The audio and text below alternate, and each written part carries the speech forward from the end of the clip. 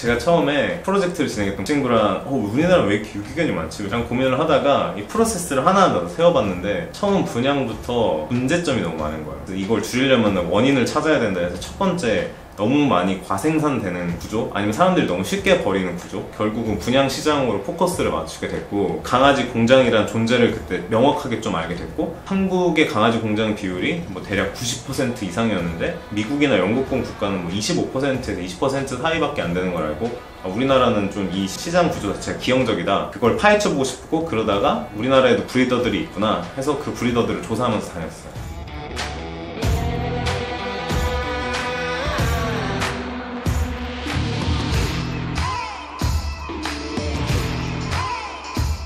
기준을 외국에 있는 걸 차용을 해서 사용을 했는데 첫 번째는 이제 미국 정부에서 사용하는 기준이 있어요. 그거와 세계에서 제일 큰 보호단체인 RSPCA라는 곳이 있거든요. 어, 여기선 채광이 하루에 2시간 이상 유리로 들어오니까 합격. 신선한 물이 흐르게 아래쪽으로 만들고 바닥 소재도 똥이 묻지 않고 자동 청소 시설이 있으니까 합격. 이런 식으로 해서 두 개를 조합한 다음에 이제 10개 정도 가장 필요한 거를 뽑은 다음에 그 항목이 있는지 없는지 아니면 breeder분께서 그 항목에 대한 인식을 하고 있는지 없는지 질문을 통해서 계속 물어보면서 좀 다녔어요. 저희가 처음에 0점부터 10점으로 나눠서 점수를 체크를 하는 걸 하려고 했는데 이게 점수 체크조차 지금 안 되는 상황이어서 차라리 중간에 pass or fail로 바꾼 다음에 아 이거를 그래도 알고 계시고 실천하시고 있다. 이런 식으로 해서 체크 리스트로 바꾸게 됐어요. 상위 10%는 잘하세요. 또 외국에서 배우신 분도 있고 아니면 자기 스스로 노력하고 공부하신 분들도 있고 3, 40% 정도는 이제 노력은 하는데 정보가 없다거나 좀 걔들한테 안 맞는 방향인 곳도 있었고요